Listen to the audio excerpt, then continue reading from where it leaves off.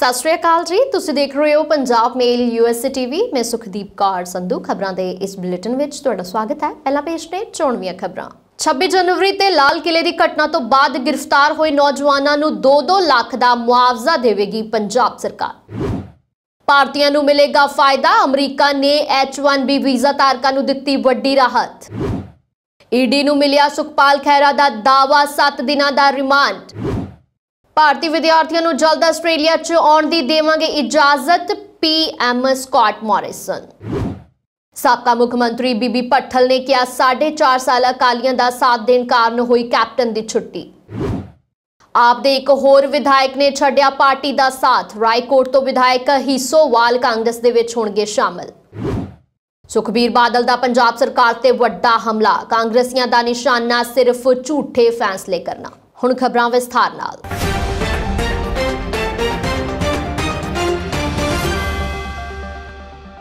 ਪੰਜਾਬ ਸਰਕਾਰ ਨੇ ਗਣਤੰਤਰ ਦਿਵਸ 2021 ਮੌਕੇ ਰਾਜਧਾਨੀ ਦਿੱਲੀ ਦੇ ਵਿੱਚ ਹੋਈ ਹਿੰਸਾ ਦੇ ਮਾਮਲੇ ਦੇ ਵਿੱਚ ਕਿਸਾਨਾਂ ਨੂੰ ਮੁਆਵਜ਼ਾ ਦੇਣ ਦਾ ਫੈਸਲਾ ਕੀਤਾ ਹੈ। ਸੂਬੇ ਦੇ ਮੁੱਖ ਮੰਤਰੀ ਚਰਨਜੀਤ ਸਿੰਘ ਚੰਨੀ ਨੇ ਦੱਸਿਆ ਹੈ ਕਿ ਟਰੈਕਟਰ ਰੈਲੀ ਦੌਰਾਨ ਹੋਈ ਹਿੰਸਾ ਤੋਂ ਬਾਅਦ ਗ੍ਰਿਫਤਾਰ ਕੀਤੇ ਗਏ ਸਾਰੇ 83 ਕਿਸਾਨਾਂ ਨੂੰ ਸਰਕਾਰ 2-2 ਲੱਖ ਮੁਆਵਜ਼ਾ ਦੇਗੀ ਦਿੱਲੀ ਦੀਆਂ ਵੱਖ-ਵੱਖ ਸਰਹੱਦਾਂ ਤੇ ਕਿਸਾਨਾਂ ਦੇ ਧਰਨੇ ਨੂੰ 1 ਸਾਲ ਤੋਂ ਵੱਧ ਸਮਾਂ ਬੀਤ ਚੁੱਕਾ ਹੈ। ਮੁੱਖ ਮੰਤਰੀ ਚੰਨੀ ਨੇ ਟਵੀਟ ਕੀਤਾ ਹੈ, ਤਿੰਨ ਕਾਲੇ ਕਾਨੂੰਨਾਂ ਵਿਰੁੱਧ ਚੱਲ ਰਹੇ ਕਿਸਾਨ ਅੰਦੋਲਨ ਨੂੰ ਆਪਣੀ ਸਰਕਾਰ ਦੇ ਸਮਰਥਨ ਨੂੰ ਦੁਹਰਾਉਂਦੇ ਹੋਏ। ਅਸੀਂ 26 ਜਨਵਰੀ 2021 ਨੂੰ ਟਰੈਕਟਰ ਰੈਲੀ ਪਿੱਛੋਂ ਗ੍ਰਿਫਤਾਰ ਕੀਤੇ ਗਏ 83 ਕਿਸਾਨਾਂ ਨੂੰ 2-2 ਲੱਖ ਦਾ ਮੁਆਵਜ਼ਾ ਦੇਣ ਦਾ ਫੈਸਲਾ ਕੀਤਾ ਹੈ। ਦੱਸਣਯੋਗ ਹੈ ਕਿ ਤਿੰਨ ਕਾਲੇ ਖੇਤੀ ਕਾਨੂੰਨਾਂ ਖਿਲਾਫ ਕਿਸਾਨ ਦਿੱਲੀ ਦੀਆਂ ਸਰਹੱਦਾਂ ਤੇ ਡਟੇ ਹੋਏ ਨੇ। ਕਿਸਾਨਾਂ ਦੇ ਵੱਲੋਂ 26 ਜਨਵਰੀ 2021 ਨੂੰ ਟਰੈਕਟਰ ਰੈਲੀ ਕਰ ਕਰਨ ਦਾ ਐਲਾਨ ਕੀਤਾ ਗਿਆ ਸੀ। ਇਸ ਤੋਂ ਬਾਅਦ ਦਿੱਲੀ ਪ੍ਰਸ਼ਾਸਨ ਨੇ ਕਿਸਾਨਾਂ ਨੂੰ ਟਰੈਕਟਰ ਰੈਲੀ ਕਰਨ ਦੀ ਇਜਾਜ਼ਤ ਨਹੀਂ ਦਿੱਤੀ ਸੀ। ਪਰ ਕਿਸਾਨ ਟਰੈਕਟਰ ਰੈਲੀ ਕਰਨ ਤੇ ਅੜੇ ਹੋਏ ਸਨ। ਕਿਸਾਨਾਂ ਦੀ ਜਿੱਦ ਦੇਖ ਕੇ ਪ੍ਰਸ਼ਾਸਨ ਨੇ ਕਿਸਾਨ ਆਗੂਆਂ ਦੇ ਨਾਲ ਬੈਠਕ ਕੀਤੀ ਅਤੇ ਟਰੈਕਟਰ ਰੈਲੀ ਦੇ ਰੂਟ ਤੈਅ ਕੀਤੇ ਗਏ। ਜਦੋਂ 26 ਜਨਵਰੀ ਨੂੰ ਟਰੈਕਟਰ ਰੈਲੀ ਸ਼ੁਰੂ ਹੋਈ ਤਾਂ ਕੁਝ ਟਰੈਕਟਰ ਬੈਰੀਗੇਡ ਤੋੜ ਕੇ ਲਾਲ ਕਿਲੇ ਦੇ ਵਿੱਚ ਚਲੇ ਗਏ ਅਤੇ ਉੱਥੇ ਝੰਡਾ ਲਹਿਰਾ ਦਿੱਤਾ। ਇਸ ਤੋਂ ਬਾਅਦ ਪੁਲਿਸ ਨੇ ਵੱਡੀ ਕਾਰਵਾਈ ਕਰਦੇ ਹੋਏ 83 ਕਿਸਾਨਾਂ ਨੂੰ ਗ੍ਰਿਫਤਾਰ ਕਰ ਲਿਆ ਅਤੇ ਕਾਫੀ ਹੰਗਾਮਾ ਹੋਇਆ। ਹੁਣ ਸਰਕਾਰ ਸਰਕਾਰ ਦੇ ਵੱਲੋਂ ਇਹਨਾਂ ਲੋਕਾਂ ਨੂੰ ਮੁਆਵਜ਼ਾ ਦੇਣ ਦਾ ਐਲਾਨ ਕੀਤਾ ਗਿਆ ਹੈ ਬਾਈਡਨ ਪ੍ਰਸ਼ਾਸਨ ਨੇ ਇਮੀਗ੍ਰੇਸ਼ਨ ਸੰਬੰਧੀ ਇੱਕ ਹੋਰ ਅਨੁਕੂਲ ਕਦਮ ਚੁੱਕਿਆ ਹੈ। ਇਸ ਦੇ ਤਹਿਤ H1B ਵੀਜ਼ਾ ਧਾਰਕਾਂ ਦੇ ਜੀਵਨ ਸਾਥੀ ਦੇ ਲਈ ਕੰਮ ਕਰਨ ਦੇ ਅਧਿਕਾਰ ਨੂੰ ਸਵੈ ਮਨਜ਼ੂਰੀ ਦੇਣ ਦੇ ਲਈ ਸਹਿਮਤੀ ਦਿੱਤੀ ਹੈ। ਇਸ ਕਦਮ ਦੇ ਨਾਲ ਹਜ਼ਾਰਾਂ ਭਾਰਤੀ ਅਮਰੀਕੀ ਔਰਤਾਂ ਨੂੰ ਵੀ ਫਾਇਦਾ ਹੋਏਗਾ। H1B ਵੀਜ਼ਾ ਧਾਰਕਾਂ ਦੇ ਵਿੱਚ ਵੱਡੀ ਗਿਣਤੀ ਭਾਰਤੀ ਆਈਟੀ ਪੇਸ਼ੇਵਰਾਂ ਦੀ ਹੈ। H14 ਵੀਜ਼ਾ ਅਮਰੀਕੀ ਨਾਗਰਿਕਤਾ ਅਤੇ ਇਮੀਗ੍ਰੇਸ਼ਨ ਸੇਵਾਵਾਂ ਦੁਆਰਾ H1B ਵੀਜ਼ਾ ਧਾਰਕਾਂ ਦੇ ਨਜ਼ਦੀਕੀ ਰਿਸ਼ਤੇਦਾਰਾਂ, ਪਤਨੀ ਅਤੇ 21 ਸਾਲ ਤੋਂ ਘੱਟ ਉਮਰ ਦੇ ਬੱਚਿਆਂ ਨੂੰ ਜਾਰੀ ਕੀਤਾ ਜਾਂਦਾ ਹੈ। ਇਹ ਵੀਜ਼ਾ ਆਮ ਤੌਰ ਤੇ ਉਹਨਾਂ ਲੋਕਾਂ ਨੂੰ ਜਾਰੀ ਕੀਤਾ ਜਾਂਦਾ ਹੈ, ਜਿਨ੍ਹਾਂ ਨੇ ਪਹਿਲਾਂ ਹੀ ਅਮਰੀਕਾ ਦੇ ਵਿੱਚ ਰੁਜ਼ਗਾਰ ਆਧਾਰਿਤ ਕਾਨੂੰਨ, ਸਥਾਈ ਨਿਵਾਸੀ ਦਰਜੇ ਦੀ ਪ੍ਰਕਿਰਿਆ ਸ਼ੁਰੂ ਕਰ ਚੁੱਕੇ ਹਨ। H1B ਵੀਜ਼ਾ ਇੱਕ ਗੈਰ ਇਮੀਗ੍ਰੇਸ਼ਨ ਵੀਜ਼ਾ ਹੈ, ਜੋ ਅਮਰੀਕੀ ਕੰਪਨੀਆਂ ਨੂੰ ਵਿਦੇਸ਼ੀ ਕਰਮਚਾਰੀਆਂ ਨੂੰ ਨੌਕਰੀ ਦੇਣ ਦੀ ਇਜਾਜ਼ਤ ਦਿੰਦਾ ਹੈ। ਇਸ ਕਾਰਨ ਤਕਨਾਲੋਜੀ ਕੰਪਨੀਆਂ ਭਾਰਤ ਅਤੇ ਚੀਨ ਵਰਗੇ ਦੇਸ਼ਾਂ ਤੋਂ ਹਰ ਸਾਲ ਹਜ਼ਾਰਾਂ ਲੋਕਾਂ ਨੂੰ ਨੌਕਰੀ ਤੇ ਰੱਖਦੀਆਂ ਨੇ। ਹਵਾਲਾ ਮਾਮਲੇ ਦੇ ਵਿੱਚ ਬੀਤੇ ਦਿਨ ਸਾਬਕਾ ਵਿਧਾਇਕ ਸੁਖਪਾਲ ਖਹਿਰਾ ਨੂੰ ਇਨਫੋਰਸਮੈਂਟ ਡਾਇਰੈਕਟੋਰੇਟ ਨੇ ਗ੍ਰਿਫਤਾਰ ਕੀਤਾ ਸੀ। ਵਿਧਾਇਕ ਸੁਖਪਾਲ ਸਿੰਘ ਖਹਿਰਾ ਨੂੰ ਇੱਕ ਦਿਨ ਦੇ ਰਿਮਾਂਡ ਮਗਰੋਂ ਅੱਜ ਮੁੜ ਅਦਾਲਤ ਵਿੱਚ ਪੇਸ਼ ਕੀਤਾ ਗਿਆ ਹੈ ਮੋਹਾਲੀ ਅਦਾਲਤ ਨੇ ਸੁਖਪਾਲ ਸਿੰਘ ਖਹਿਰਾ ਦਾ 7 ਦਿਨ ਦਾ ਰਿਮਾਂਡ ਦਿੱਤਾ ਹੈ ਜਦਕਿ ਈਡੀ ਨੇ 14 ਦਿਨਾਂ ਦਾ ਰਿਮਾਂਡ ਮੰਗਿਆ ਸੀ। ਪਰ ਅਦਾਲਤ ਨੇ ਅੱਜ ਸਮੇਤ 7 ਦਿਨ ਦਾ ਰਿਮਾਂਡ ਦਿੱਤਾ ਹੈ ਹੁਣ ਸੁਖਪਾਲ ਸਿੰਘ ਖਹਿਰਾ ਨੂੰ 18 ਨਵੰਬਰ ਨੂੰ ਇਸ ਅਦਾਲਤ ਦੇ ਵਿੱਚ ਪੇਸ਼ ਕੀਤਾ ਜਾਏਗਾ। ਮੀਡੀਆ ਦੇ ਨਾਲ ਗੱਲਬਾਤ ਕਰਦਿਆਂ ਖਹਿਰਾ ਨੇ ਕਿਹਾ ਹੈ ਕਿ ਮੈਂ ਅਮਰੀਕਾ ਦੇ ਅਧਿਕਾਰੀ ਦੌਰੇ ਤੇ ਗਿਆ ਹੋਇਆ ਸੀ ਅਤੇ ਉੱਥੇ ਆਮ ਆਦਮੀ ਪਾਰਟੀ ਦਾ ਪ੍ਰੋਗਰਾਮ ਸੀ। ਮੈਂ ਈਡੀ ਨੂੰ ਸਾਰੇ ਸਬੂਤ ਦੇ ਦਿੱਤੇ ਨੇ ਅਤੇ ਜਾਂਚ ਦੌਰਾਨ ਮੈਂ ਸਭ ਕੁਝ ਠੋਸ ਤਰੀਕੇ ਦੇ ਨਾਲ ਰੱਖਾਂਗਾ। ਮੈਂ ਬੇਕਸੂਰ ਹਾਂ ਤੇ ਮੈਨੂੰ ਕਿਸੇ ਤਰ੍ਹਾਂ ਦੀ ਕੋਈ ਘਬਰਾਹਟ ਨਹੀਂ ਹੈ। ਇਸ ਮੌਕੇ ਤੇ ਉਹਨਾਂ ਦੇ ਵਕੀਲ ਹਰਿੰਦਰਪਾਲ ਸਿੰਘ ਈਸਰ ਨੇ ਕਿਹਾ ਕਿ ਜਿਨ੍ਹਾਂ 3 ਕਰੋੜ ਤੇ ਸਵਾਲ ਚੁੱਕੇ ਜਾ ਰਹੇ ਨੇ, ਉਹਨਾਂ ਦੇ ਸਾਰੇ ਸਬੂਤ ਈਡੀ ਨੂੰ ਦੇ ਦਿੱਤੇ ਗਏ ਨੇ। ਜੇਕਰ ਈਡੀ ਨੇ ਜਾਂਚ ਕਰਨੀ ਹੈ ਤਾਂ ਉਸ ਨੂੰ ਆਮ ਆਦਮੀ ਪਾਰਟੀ ਦੀ ਜਾਂਚ ਕਰਨੀ ਚਾਹੀਦੀ ਹੈ, ਕਿਉਂਕਿ ਉਹਨਾਂ ਨੇ ਗਲਤ ਤਰੀਕੇ ਦੇ ਨਾਲ ਚੰਦਾ ਲਿਆ ਹੈ ਅਤੇ ਇਸੇ ਆਧਾਰ ਤੇ ਪਾਰਟੀ ਦੀ ਮਾਨਤਾ ਵੀ ਰੱਦ ਹੋ ਸਕਦੀ ਹੈ। ਹਰਿੰਦਰਪਾਲ ਸਿੰਘ ਈਸਰ ਨੇ ਕਿਹਾ ਹੈ ਕਿ ਖੈਰਾ ਦੇ ਪਰਿਵਾਰ ਦੇ ਨਾਲ ਸਲਾਹ ਕਰਕੇ ਅਗਲਾ ਕਦਮ ਉਠਾਵਾਂਗੇ। ਅੱਜ ਈਡੀ ਨੇ ਜਿਹੜਾ ਹੈ ਰਿਮਾਂਡ ਮੰਗਿਆ ਸੀ। ਉਹਨਾਂ ਨੇ 14 ਦਿਨ ਦਾ ਰਿਮਾਂਡ ਮੰਗਿਆ ਸੀ, ਪੇਸ਼ ਕੀਤਾ ਸੀ ਖੈਰਾ ਸਾਹਿਬ ਨੂੰ। ਉਸ ਤੋਂ ਬਾਅਦ ਸਾਡੀ ਜਿਹੜੀ ਆਰਗੂਮੈਂਟ ਹੋਈ, ਸਾਡੀ ਆਰਗੂਮੈਂਟ 3-ਫੋਲਡ ਸੀ। ਅਸੀਂ ਪਹਿਲਾਂ ਇਹ ਸੀ ਕਿ ਵੀ ਜਿਹੜਾ ਅਰੈਸਟ ਹੈ, ਬਿਲਕੁਲ ਇਲੀਗਲ ਹੈ ਅਨਕਨਸਟੀਟਿਊਸ਼ਨਲ ਹੈ। ਅਨਕਨਸਟੀਟਿਊਸ਼ਨਲ ਹੈ, ਬਿਲਕੁਲ ਵਾਇਲੇਸ਼ਨ ਜਿਹੜੀ ਹੈ ਆਰਟੀਕਲ 21 22 ਦੀ ਵਾਇਲੇਸ਼ਨ ਹੈ ਤੇ ਇਸ ਕਰਕੇ ਜਦ ਅਰੈਸਟ ਇਲੀਗਲ ਹੈ ਸੋ ਰਿਮਾਂਡ ਨਹੀਂ ਮਿਲਣਾ ਚਾਹੀਦਾ। ਉਸ ਤੋਂ ਇਲਾਵਾ ਜੁਰਿਸਡਿਕਸ਼ਨ ਦਾ ਇਸ਼ੂ ਸੀ।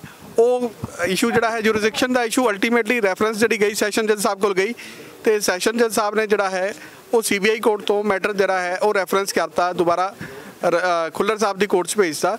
ਤੇ ਆਫਟਰ ਹੀਅਰਿੰਗ ਦੀ ਆਰਗੂਮੈਂਟਸ ਜਿਹੜਾ ਈਡੀ ਦਾ ਸੀ ਕਿ ਉਹਨਾਂ ਨੇ ਕਿਹਾ ਕਿ ਸਾਨੂੰ 14 ਦਿਨ ਦਾ ਰਿਮਾਂਡ ਚਾਹੀਦਾ ਹੈ।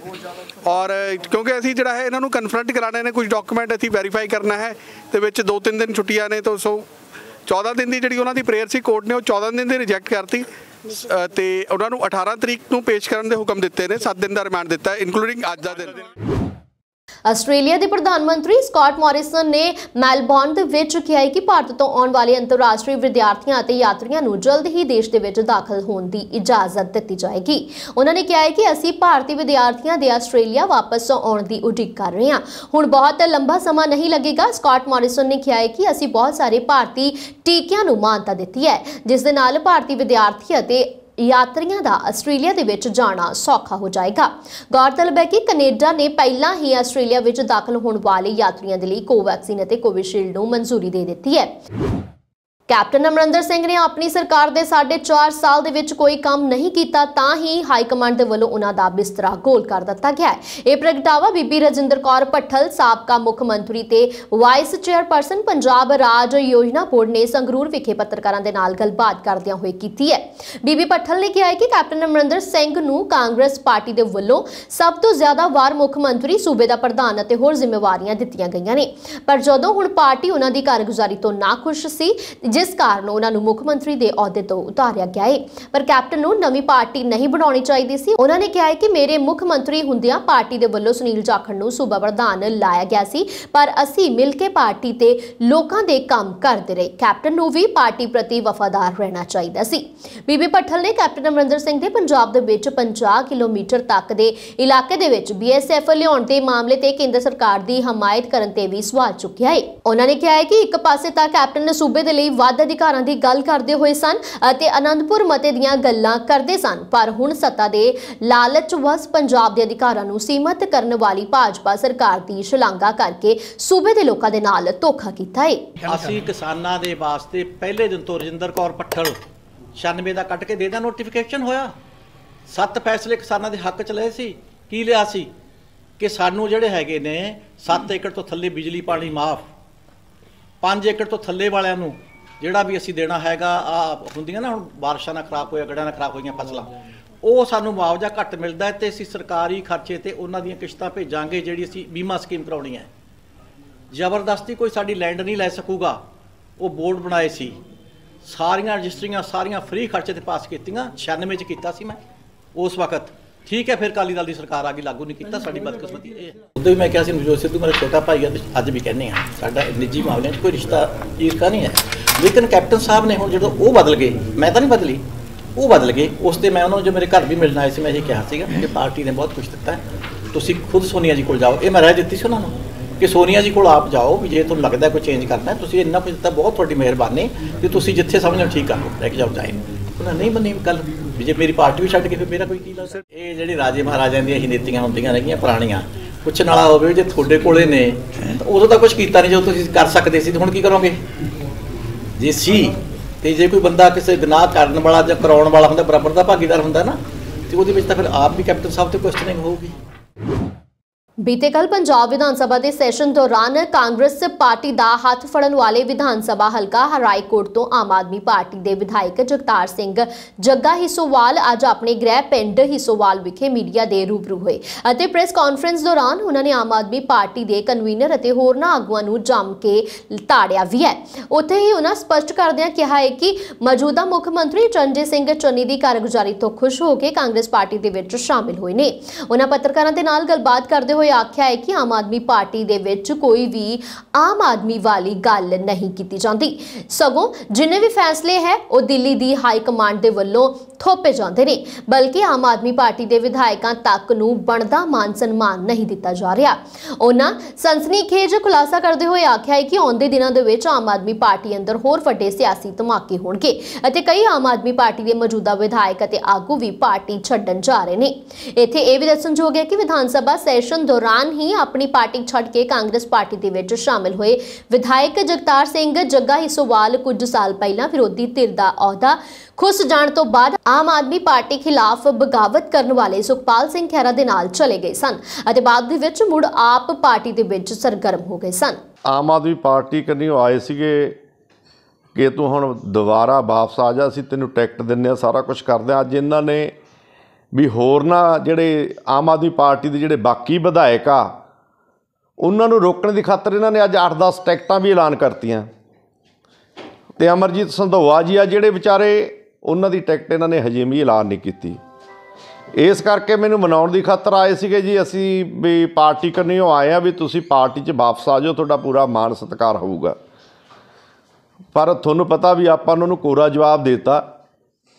ਕਿ ਮੈਂ ਇਹੋ ਜੀ ਪਾਰਟੀ ਦੇ ਵਿੱਚ ਰਹਿ ਨਹੀਂ ਸਕਦਾ ਜਿਹਦੇ ਉੱਤੇ ਹਰ ਵਕਤ ਦਿਮਾਗ ਦੇ ਉੱਤੇ ਲੋਡ, ਕਰਨਾ ਕੱਖ ਨਹੀਂ, ਪ੍ਰੈਸ਼ਰਾਈਜ਼ ਕੀਤਾ ਕੱਖ ਨਹੀਂ, ਆਮ ਆਦਮੀ ਪਾਰਟੀ ਦਾ ਰੌਲਾ, ਆਮ ਅਸੀਂ ਆਮ ਆਦਮੀ ਪਾਰਟੀ ਵਾਲੇ ਜੇ ਕਰਾਂਗੇ ਉਹ ਕਰਾਂਗੇ, ਫਲਾਨਾ ਕਰਾਂਗੇ, ਪਰ ਕਰਨਾ ਇਹਨਾਂ ਨੇ ਡੱਕਾ ਨਹੀਂ, ਤੁਹਾਨੂੰ ਵੀ ਪਤਾ, ਸਮਾਜ ਨੂੰ ਵੀ ਪਤਾ, ਲੋਕਾਂ ਨੂੰ ਵੀ ਪਤਾ, ਪੰਜਾਬ ਨੂੰ ਵੀ ਪਤਾ।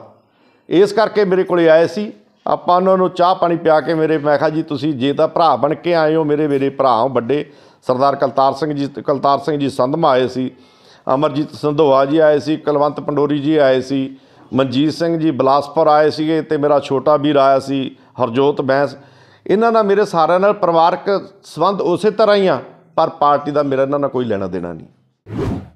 ਸ਼੍ਰੋਮਣੀ ਅਕਾਲੀ ਦਲ ਦੇ ਪ੍ਰਧਾਨ ਸੁਖਬੀਰ ਸਿੰਘ ਬਾਦਲ ਦੇ ਵੱਲੋਂ ਮੁਕੇਰੀਆਂ ਦਾ ਦੌਰਾ ਕੀਤਾ ਗਿਆ।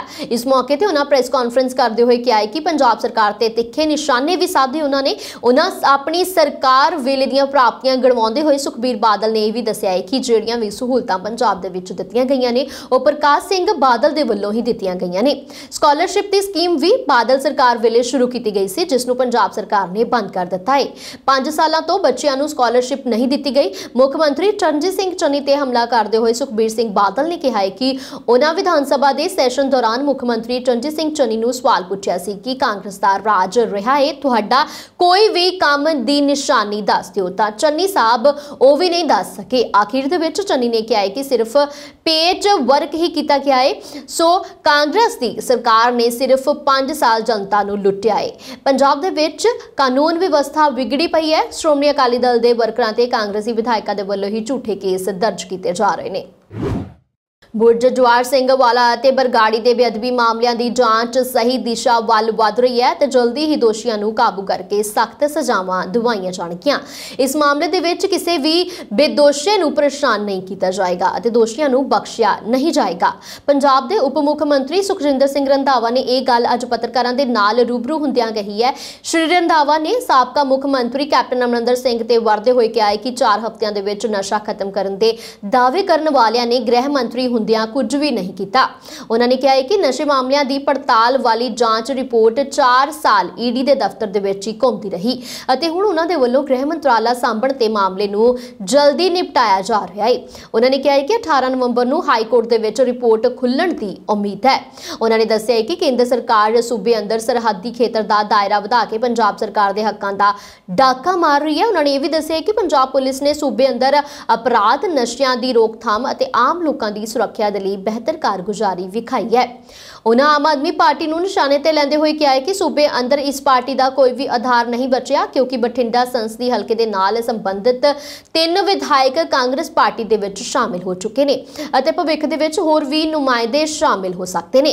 ਕਿ ਕੈਪਟਨ ਸਾਹਿਬ ਦੀ ਕੋਈ ਆਪਣੀ ਮਜਬੂਰੀ ਹੈ ਜਿਹੜੀ ਉਹਦੀਆਂ ਸਟੇਟਮੈਂਟਾਂ ਦੇ ਰਹੇ ਨੇ? ਤੇ ਮੈਂ ਕੈਪਟਨ ਸਾਹਿਬ ਨੂੰ ਯਾਦ ਕਰਾਉਣਾ ਚਾਹੁੰਦਾ ਤੇ ਕਿ 60 2016 ਚ ਅਸੀਂ ਇਕੱਠੇ ਹੀ ਸੀਗੇ। ਡੇਰਾ ਬਾਬਾ ਨਾਨਕ ਹੀ ਉੱਥੇ ਗਏ ਸੀ, ਸਾਡੇ ਉੱਥੇ ਬਾਰਡਰ ਦੇ ਉੱਤੇ ਅਸੀਂ ਅੰਮ੍ਰਿਤਸਰ ਇੱਕ ਮੀਟਿੰਗ ਰੱਖੀ ਸੀ ਤੇ ਉਸ ਵੇਲੇ ਇੰਡੀਅਨ ਐਕਸਪ੍ਰੈਸ ਦੇ ਵਿੱਚ ਇੱਕ ਮੈਂ ਤੁਹਾਨੂੰ ਸਟੇਟਮੈਂਟ ਵੀ ਭੇਜ ਦਊਂ ਕੈਪਟਨ ਸਾਹਿਬ ਨੂੰ ਤਾਂ ਮੈਂ ਭੇਜ ਦਿੱਤੀ ਸੀ ਮੇਰੇ ਕੋਲ, ਉਹਨਾਂ ਮੇਰਾ ਅੱਜ ਕੱਲ੍ਹ ਮੈਸੇਜ ਨਹੀਂ ਗੇ ਦੇਖਦੇ।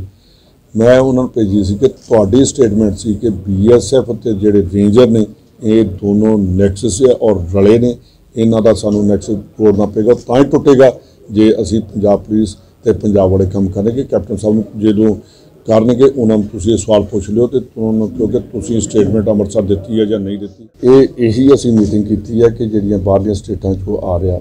ਇਹਦੇ ਨਾਲ ਪਾਕਿਸਤਾਨ ਦੇ ਵਿੱਚੋਂ ਜਿਹੜੀ ਆ ਰਹੀ ਉਹਦੇ ਬਾਰੇ ਵੀ ਅਸੀਂ ਕਰ ਰਹੇ ਹਾਂ ਕਿ ਜਿਹੜੀ ਸਾਡੀ ਫਰਸਟ ਡਿਫੈਂਸ ਲਾਈਨ ਉਹ ਬੀਐਸਐਫ ਕੋਲ ਹੈ। ਸੈਕੰਡ ਜਿਹੜੀ, ਉਹ ਸਾਡੀ ਜੁਆਇੰਟ ਹੈ ਬੀਐਸਐਫ ਤੇ ਔਰ ਸਾਡੀ ਹੈ। ਤੇ ਥਰਡ ਡਿਫੈਂਸ ਲਾਈਨ ਜਿਹੜੀ ਆ ਉਹ ਪੰਜਾਬ ਪੁਲਿਸ ਦੀ ਹੈ। ਮੇਰੇ ਖਿਆਲ ਉਹਨਾਂ ਦੋਨਾਂ ਨਾਲੋਂ ਹੀ ਸਾਡੀ ਜਿਹੜੀ ਜਿਹੜੀ ਥਰਡ ਡਿਫੈਂਸ ਲਾਈਨ ਹੈ ਜਾ ਕੇ ਕਿਤੇ ਆਪ ਵੀ ਦੇਖੋ ਉਹਨਾਂ ਨਾਲੋਂ ਜ਼ਿਆਦਾ ਮਜ਼ਬੂਤ ਹੈ। ਤੇ ਜਿਹੜੀ ਇਹਦੇ ਚ ਮੈਂ ਇੱਕ ਤੁਹਾਨੂੰ ਬੇਨਤੀ ਕਰਨਾ ਚਾਹੁੰਦਾ ਕਿ ਕੱਲਾ ਪੰਜਾਬ ਕਿਹੋ ਜਿਹੀ ਸਟੇਟ ਹੈ ਜਿਹਨੂੰ ਪਾਕਿਸਤਾਨ ਡਿਸਟਰਬ ਕਰਨ ਦੀ ਕੋਸ਼ਿਸ਼ ਕਰੇਗਾ? ਔਰ ਨਾਲ ਦੀ ਨਾਲ ਜੇ ਤੁਸੀਂ ਦੇਖੋਗੇ ਕਿ ਨਸ਼ਾ ਜਿਹੜੀਆਂ ਪੋਰਟਾਂ ਨੇ ਉਹਨਾਂ ਦੇ ਉੱਤੇ 300 3000 ਕਿਲੋ ਜਾਂ ਇਹਦੇ ਤੋਂ ਵੱਡੀ ਕੁਆਂਟੀਟੀ ਵੀ ਜਿਹੜੀ ਆ ਉਹ ਆ ਰਹੀ ਆ। ਅਸੀਂ ਆਪਣੀ ਪੁਲਿਸ ਤੇ ਅਸੀਂ ਰਲ ਕੇ ਇਹਦੇ ਤੇ ਪੂਰਾ ਕੰਟਰੋਲ ਕੀਤਾ ਔਰ ਕੰਟਰੋਲ ਕਰ ਰਹੇ ਹਾਂ। ਕਿ ਕੈਪਟਨ ਸਾਹਿਬ ਦੇ ਟਾਈਮ ਤੋਂ ਲਾ ਕੇ 4 ਸਾਲ ਮੈਂ ਬਹੁਤ ਰੌਲੀ ਪਾਉਂਦਾ ਰਿਹਾ। ਮੈਂ ਲਾਸਟ ਲੈਟਰ ਜਿਹੜੀ ਲਿਖੀ ਆ ਉਹਦੇ ਤੇ ਫਿਰ ਅਹ, ਮੇਰੇ ਖਿਆਲ ਅਹ, ਸੱਤਵਾਂ ਜਾਂ ਅੱਠਵਾਂ ਮਹੀਨਾ ਸੀ ਜਦੋਂ ਮੈਂ ਉਹਨਾਂ ਨੂੰ ਲੈਟਰ ਲਿਖੀ। ਉਹਦੇ ਤੇ ਐਕਸ਼ਨ ਕੀਤਾ। ਉਹਦੇ ਤੇ ਐਕਸ਼ਨ ਚੱਲਦਾ ਰਿਹਾ। ਤੇ ਉਹਦੇ ਚ ਜੋ ਮੇਰੇ ਕੋਲ ਹੁਣ ਹੋਮ ਆ ਗਿਆ ਤੇ ਜਿਸ ਵੇਲੇ ਮੇਰੇ ਕੋਲ ਫਾਈਲ ਆਈ ਆ ਉਹਦੇ ਮੈਂ ਦੇਖਿਆ ਕੀਤਾ ਹੀ ਕੁਛ ਨਹੀਂ। ਕਿ ਪੰਜਾਬ ਦੇ ਲੋਕਾਂ ਨਾਲ ਅਸੀਂ ਵੈਸੇ ਹੀ ਕਹਿੰਦੇ ਰਹੇ ਕਿ ਮੈਂ 4 ਹਫ਼ਤੇ 'ਚ ਨਸ਼ਾ ਬੰਦ ਕਰਾਂਗੇ 4 ਸਾਲ 'ਚ ਫਾਈਲ ਹੀ ਨਹੀਂ ਚੁੱਕੀ ਕਿਸੇ ਨੇ। ਭਾਰਤੀ ਕਿਸਾਨ ਯੂਨੀਅਨ ਦੇ ਆਗੂ ਰਕੇਸ਼ ਟਕੈਤ ਨੇ 26 ਨਵੰਬਰ ਨੂੰ ਦਿੱਲੀ ਮੋਰਚੇ ਦਾ ਇੱਕ ਵਰਾ ਮੁਕੰਮਲ ਹੋਣ ਤੇ ਭਰਵੇਂ ਇਕੱਠ ਦਾ ਸੱਦਾ ਦਿੱਤਾ ਹੈ ਨਾਲ ਹੀ ਉਹਨਾਂ ਕਿਸਾਨਾਂ ਨੂੰ 29 ਨਵੰਬਰ ਤੋਂ ਸੰਸਦ ਭਵਨ ਦੇ ਵੱਲ ਟਰੈਕਟਰ ਮਾਰਚ ਦੇ ਲਈ ਤਿਆਰੀਆਂ ਕਰਨ ਦੇ ਲਈ ਆਖ ਦਿੱਤਾ ਹੈ ਗਾਜੀਪੁਰ ਬਾਰਡਰ ਤੇ ਸੰਬੋਧਨ ਕਰਦੇ ਹੋਏ ਰਕੇਸ਼ ਟਕੈਤ ਨੇ ਕਿਹਾ ਹੈ ਕਿ ਦਿੱਲੀ ਮੋਰਚੇ ਨੂੰ ਇੱਕ ਸਾਲ ਹੋਣ ਵਾਲਾ ਹੈ ਪਰ ਕੇਂਦਰ ਸਰਕਾਰ ਕਿਸਾਨਾਂ ਦੀ ਗੱਲ ਸੁਣਨ ਨੂੰ ਤਿਆਰ ਨਹੀਂ ਹੈ ਉਹਨਾਂ ਨੇ ਕਿਹਾ ਹੈ ਕਿ ਖੇਤੀ ਕਾਨੂੰਨ ਰੱਦ ਹੋਣ ਤੱਕ ਕਿਸਾਨ ਦਿੱਲੀ ਦੀਆਂ ਸਰਹੱਦਾਂ ਤੇ ਆਪਣਾ ਸੰਘਰਸ਼ ਜਾਰੀ ਰੱਖਣਗੇ। ਉਹਨਾਂ ਸਾਰੇ ਜ਼ਿਲ੍ਹਿਆਂ ਦੇ ਵਰਕਰਾਂ ਨੂੰ ਲੰਬੇ ਅੰਦੋਲਨ ਦੇ ਲਈ ਹੁਣੇ ਤੋਂ ਕਮਰ ਕੱਸਣ ਦਾ ਸੱਦਾ ਦੇ ਦਿੱਤਾ ਹੈ ਟਕੈਤ ਨੇ ਕਿਹਾ ਹੈ ਕਿ ਆਪਣੇ ਤੰਬੂ ਲਗਾਓ ਤੇ ਖਾਣ ਪੀਣ ਤੋਂ ਲੈ ਕੇ ਸਰਦੀਆਂ ਦੀਆਂ ਜ਼ਰੂਰਤਾਂ ਤੱਕ ਹਰ ਚੀਜ਼ ਦੇ ਨਾਲ ਸਰਹੱਦ ਤੇ ਮੌਜੂਦ ਹੋਣਾ ਯਕੀਨੀ ਬਣਾਓ। ਸੰਘਰਸ਼ ਲੰਬਾ ਸਮਾਂ ਚੱਲੇਗਾ ਕਿਉਂਕਿ ਸਰਕਾਰ ਕਿਸਾਨਾਂ ਨੂੰ ਥਕਾਉਣਾ ਚਾਹੁੰਦੀ ਹੈ ਤੇ ਕਿਸਾਨ ਥੱਕਣ ਵਾਲਾ ਨਹੀਂ ਹੈ। ਉਹਨਾਂ ਨੇ ਕਿਹਾ ਹੈ ਕਿ ਪੜ੍ਹੇ ਲਿਖੇ ਕਿਸਾਨ ਅਤੇ ਖਾਸ ਕਰਕੇ ਨੌਜਵਾਨਾਂ ਨੂੰ ਵੀ ਕਿਸਾਨੀ ਲਹਿਰ ਨੂੰ ਫੇਸਬੁੱਕ ਟਵਿੱਟਰ ਇੰਸਟਾਗ੍ਰam ਵਰਗੇ ਮਾਧਿਅਮ ਰਾਹੀਂ ਚਲਾਉਣਾ ਹੋਏਗਾ। ਤਾਂ ਜੋ ਮੀਡੀਆ ਦੀ ਗਲਤ ਖਬਰਾਂ ਤੋਂ ਕਿਸਾਨਾਂ ਨੂੰ ਬਚਾਇਆ ਜਾ ਸਕੇ एक तो जो उनतीस तारीख वाला है वो कंफर्म ये करते हैं कि 500 लोग अभी जो संयुक्त मोर्चे की बातचीत हुई उसमें ये तय हुआ कि दो बॉर्डर से लोग जाएंगे ये अपने वाला बॉर्डर भी एक है जो किसान क्रांति गेट गाजीपुर बॉर्डर है और एक तिगरी बॉर्डर है हर रोज 500 लोग जाएंगे और वो वापसी नहीं आएंगे अपना कपड़ा लत्ता ट्रैक्टर में लेकर आना। वे एक भी लग सके, ना दो भी लग सके। अभी ये तय नहीं हुआ। उसके बाद में अगले दिन फिर पाँच सौ जाएँगे। भाई, वापसी आ गए तो ठीक है। तो ये करीब पंद्रह दिन तक ये प्रोग्राम चलेगा, जिस दिन भी संसद चलेगी।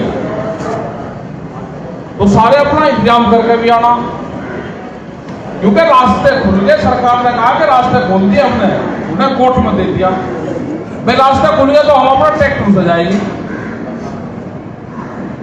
अब रोकने वाला कौन है भाई? तो ट्रैक्टर चले जाएँगे। या तो वे बुलाएँगे तो भाई ट्रैक्टर नहीं जाएँगे, फिर वो गई क्यों जाएँगे? क्योंकि हालात ये है कि गाँव में ट्रैक्टर को, इनको जो पंद्रह साल पुराने, इनको रोकने भी लगेगा। जो पंपिंग सेट है, वो भी पंद्रह साल पुराना नहीं चलेगा। गाड़ियाँ नहीं चलेगी कल। दो दिन पहले भी सील करी कुछ। गाड़ियाँ मुझे प्रगर में बता रहे कि करी अगर गाड़ी कर रहे तो ट्रैक्टर भी करेंगे घर से पंपिंग सेट जो इंजन है, वे भी उठा कर जाएँगे। ये जो पंचायत है, जो लखनऊ हो रही बाईस तारीख में, इसमें भी इशू ये रहेंगे कि खरीद नहीं हो रही। जो फ़सलें हमारी आ रही अभी धान की फ़सलें आ रही जो भी फ़सलें अभी आई, दालें आई हैं, उनकी खरीद नहीं हुई, बाजरा है। गन्ने का रेट भी कम है, उसके पिछले भी पैसे नहीं मिले। और सरकार झूठ बोलती है कि हमने भुगतान कर दिया। ਪੰਜਾਬ ਦੀ ਸਿਆਸਤ ਦੇ ਵਿੱਚ ਆਉਣ ਵਾਲੇ ਸਮੇਂ ਦੌਰਾਨ ਵੱਡੇ ਧਮਾਕੇ ਦੇ ਅਸਾਰ ਨਜ਼ਰ ਆ ਰਹੇ ਨੇ। ਅਸਲ ਵਿੱਚ ਇੱਥੇ ਇੱਕ ਵੱਡੇ ਹੋਟਲ ਦੇ ਵਿੱਚ ਮੁੱਖ ਮੰਤਰੀ ਚਰਨਜੀਤ ਸਿੰਘ ਚੰਨੀ ਅਤੇ ਬਾਲੀਵੁੱਡ ਅਦਾਕਾਰ ਸੋਨੂ ਸੂਦ ਵਿਚਕਾਰ ਮੁਲਾਕਾਤ ਦੀ ਚਰਚਾ ਹੋ ਰਹੀ ਹੈ। ਮੁੱਖ ਮੰਤਰੀ ਚੰਨੀ ਅਤੇ ਸੋਨੂ ਸੂਦ ਵਿਚਾਲੇ ਇਹ ਮੁਲਾਕਾਤ ਕਿਸੇ ਵਿਸ਼ੇ ਨੂੰ ਲੈ ਕੇ ਹੋ ਰਹੀ ਹੈ। ਇਸ ਬਾਰੇ ਅਜੇ ਸ਼ਸ਼ੋਪੰਚ ਬਣਿਆ ਹੋਇਆ ਹੈ। ਇਸ ਮੁਲਾਕਾਤ ਨੂੰ ਸਿਆਸੀ ਮਾਹਿਰਾਂ ਦੇ ਵੱਲੋਂ ਆਉਣ ਵਾਲੀਆਂ ਵਿਧਾਨ ਸਭਾ ਚੋਣਾਂ ਦੇ ਨਾਲ ਜੋੜ ਕੇ ਦੇਖਿਆ ਜਾ ਰਿਹਾ ਹੈ। ਦੱਸਣਯੋਗ ਹੈ ਕਿ ਇਸ ਤੋਂ ਪਹਿਲਾਂ ਸੋਨੂ ਸੂਦ ਦਿੱਲੀ ਦੇ ਮੁੱਖ ਮੰਤਰੀ ਅਰਵਿੰਦ ਕੇਜਰੀਵਾਲ ਦੇ ਨਾਲ ਵੀ ਮੁਲਾਕਾਤ ਕਰ ਚੁੱਕੇ ਨੇ। ਜਿਸ ਤੋਂ ਬਾਅਦ ਸੋਨੂ ਸੂਦ ਦੇ ਸਿਆਸਤ ਦੇ ਵਿੱਚ ਕਦਮ ਰੱਖਣ ਨੂੰ ਲੈ ਕੇ ਚਰਚਾ ਸ਼ੁਰੂ ਹੋ ਗਈ ਸੀ। ਅਰਵਿੰਦ ਕੇਜਰੀਵਾਲ ਦੇ ਵੱਲੋਂ ਮੋਗਾ ਦੌਰਾ ਰੱਦ ਕਰਨ ਤੋਂ ਬਾਅਦ ਸੋਨੂ ਸੂਦ ਦਾ ਸਿਆਸਤ ਨੂੰ ਲੈ ਕੇ ਬਿਆਨ ਸਾਹਮਣੇ ਆਇਆ ਸੀ। ਬੀਜੇਪੀ ਆਗੂ ਸ਼ਵੇਤ ਮਲਿਕ ਦੇ ਵੱਲੋਂ ਇੱਕ ਵਿਸ਼ੇਸ਼ ਪ੍ਰੈਸ ਵਾਰਤਾ ਕੀਤੀ ਗਈ ਹੈ। ਇਸ ਦੌਰਾਨ ਉਹ ਪੱਤਰਕਾਰਾਂ ਦੇ ਨਾਲ ਗੱਲਬਾਤ ਕਰਦੇ ਹੋਏ ਕਾਂਗਰਸ ਅਤੇ ਨਵਜੋਤ ਸਿੰਘ ਸਿੱਧੂ ਤੇ ਰੱਜ ਕੇ ਵਰੇ ਨੇ। ਪੱਤਰਕਾਰਾਂ ਦੇ ਨਾਲ ਗੱਲਬਾਤ ਕਰਦੇ ਹੋਏ ਸਭ ਤੋਂ ਪਹਿਲਾਂ ਨਵਜੋਤ ਸਿੰਘ ਸਿੱਧੂ ਤੇ ਤੰਜ ਕੱਸਦੇ ਹੋਏ ਉਹਨਾਂ ਨੇ ਕਿਹਾ ਕਿ ਨਵਜੋਤ ਸਿੰਘ ਸਿੱਧੂ ਪਾਕਿਸਤਾਨ ਦਾ ਹਿਤੈਸ਼ੀ ਹੈ। ਕਰਤਾਰਪੁਰ ਸਾਹਿਬ ਦਾ ਲਾਂਘਾ ਖੁੱਲਣ ਦੇ ਬਾਰੇ ਸਵਾਲ ਪੁੱਛਣ ਤੇ ਸ਼ਵੇਤ ਮਲਿਕ ਨੇ ਕਿਹਾ ਹੈ ਕਿ ਕਰਤਾਰਪੁਰ ਸਾਹਿਬ ਦਾ ਲਾਂਘਾ ਨਵਜੋਤ ਸਿੰਘ ਸਿੱਧੂ ਨੇ ਨਹੀਂ, ਸਗੋਂ ਭਾਰਤ ਦੇ ਪ੍ਰਧਾਨ ਮੰਤਰੀ ਨਰਿੰਦਰ ਮੋਦੀ ਨੇ ਖੁਲਵਾਇਆ ਹੈ ਉਹਨਾਂ ਨੇ ਕਿਹਾ ਕਿ ਜੇ ਇਸ ਦੇ ਵਿੱਚ ਨਵਜੋਤ ਸਿੰਘ ਸਿੱਧੂ ਦਾ ਰੋਲ ਹੁੰਦਾ ਤਾਂ ਜਦੋਂ ਡਾਕਟਰ ਮਨਮੋਹਨ ਸਿੰਘ ਭਾਰਤ ਦੇ ਪ੍ਰਧਾਨ ਮੰਤਰੀ ਸਨ ਤਾਂ ਉਹ ਇਹ ਲਾਂਘਾ ਕਿਉਂ ਨਹੀਂ ਖੋਲਿਆ ਗਿਆ? ਬੀਐਸਐਫ ਦਾ ਦਾਇਰਾ ਵਧਾਉਣ ਦੇ ਸੰਬੰਧ ਵਿੱਚ ਗੱਲਬਾਤ ਕਰਦਿਆਂ ਸ਼ਵੇਤ ਮਲਿਕ ਨੇ ਕਿਹਾ ਕਿ ਪੰਜਾਬ ਪੁਲਿਸ ਸ਼ਹਿਰਾਂ ਦੇ ਵਿੱਚ ਕਾਨੂੰਨ ਨੂੰ ਸਹੀ ਢੰਗ ਦੇ ਨਾਲ ਲਾਗੂ ਕਰਨ ਲਈ ਟ੍ਰੇਨਡ ਹੈ, ਪਰ ਸਰਹੱਦੀ ਇਲਾਕਿਆਂ ਦੇ ਵਿੱਚ ਗਲਤ ਅੰਸਰਾਂ ਤੇ ਕਾਬੂ ਬੀਐਸਐਫ ਹੀ ਪਾਉਂਦੀ ਹੈ। ਇਸ ਲਈ ਕਾਂਗਰਸ ਨੂੰ ਪਤਾ ਨਹੀਂ ਕਿਉਂ ਬੀਐਸਐਫ ਦਾ ਦਾਇਰਾ ਵਧਾਉਣ ਤੋਂ ਤਕਲੀਫ ਹੋ ਰਹੀ ਹੈ। ਉਹਨਾਂ ਨੇ ਕਿਹਾ ਕਿ ਪੰਜਾਬ ਦੇ ਸਾਬਕਾ ਮੁੱਖ ਮੰਤਰੀ ਕੈਪਟਨ ਅਮਰਿੰਦਰ ਸਿੰਘ ਦੇ ਵੱਲੋਂ ਦਿੱਲੀ ਜਾ ਕੇ ਕੇਂਦਰ ਸਰਕਾਰ ਅੱਗੇ ਗੁਹਾਰ ਲਗਾਈ ਗਈ ਸੀ ਕਿ ਪਾਕਿਸਤਾਨ ਲਗਾਤਾਰ ਪੰਜਾਬ ਦੇ ਵਿੱਚ ਆਪਣੀ ਗਤੀਵਿਧੀਆਂ ਤੇਜ਼ ਕਰਦਾ ਜਾ ਰਿਹਾ ਹੈ। ਇਸ ਨੂੰ ਧਿਆਨ ਦੇ ਵਿੱਚ ਰੱਖਦੇ ਹੋਏ ਬੀਐਸਐਫ ਦਾ ਦਾਇਰਾ 15 ਕਿਲੋਮੀਟਰ ਤੋਂ ਵਧਾ ਕੇ 50 ਕਿਲੋਮੀਟਰ ਤੱਕ ਦਾ ਕੀਤਾ ਗਿਆ ਸੀ। ਸੁਖਪਾਲ ਖਹਿਰਾ ਦੀ ਗ੍ਰਿਫਤਾਰੀ ਨੂੰ ਲੈ ਕੇ ਸ਼ਵੇਤ ਮਲਿਕ ਨੇ ਕਿਹਾ ਕਿ ਸੁਖਪਾਲ ਸਿੰਘ ਖਹਿਰਾ ਤੇ ਬਹੁਤ ਪੁਰਾਣੀ ਜਾਂਚ ਚੱਲ ਰਹੀ ਹੈ, ਜਿਸ ਦੇ ਤਹਿਤ ਉਹਨਾਂ ਨੂੰ ਗ੍ਰਿਫਤਾਰ ਕੀਤਾ ਗਿਆ ਹੈ।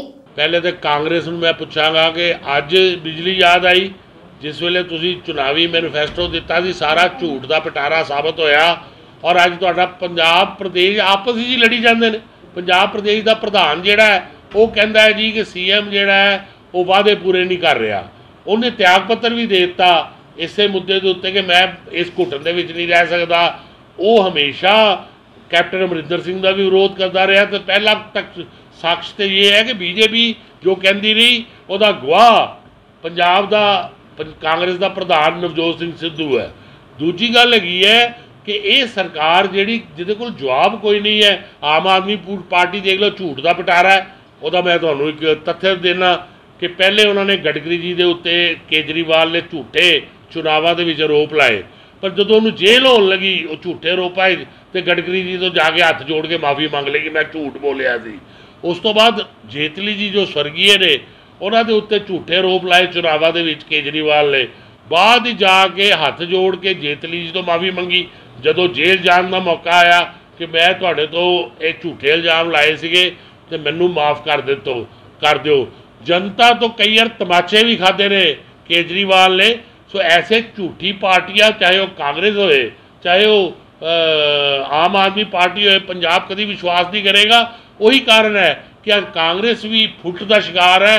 ਕਾਂਗਰਸ ਦੇ ਵਿੱਚ ਜ਼ਬਰਦਸਤ ਅੰਦਰੂਨ ਲੜਾਈ ਚੱਲ ਰਹੀ ਹੈ।